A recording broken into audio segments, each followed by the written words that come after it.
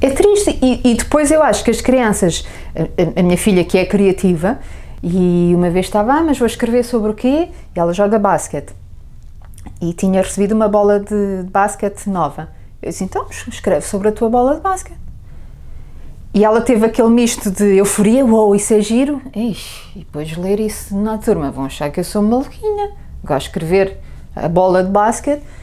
Eu disse, então, mas já imaginaste, a bola de basquete veio da loja, chegou cá a casa, tu agarraste a primeira vez, o que é que ela sentiu quando tu... E ela estava ali num, num mix de isso é giro, mas como é que os outros que não são, não têm esta cabeça assim, vão olhar para mim, vou ficar tipo a maluquinha que está a pôr a bola de basquete a conversar, não é?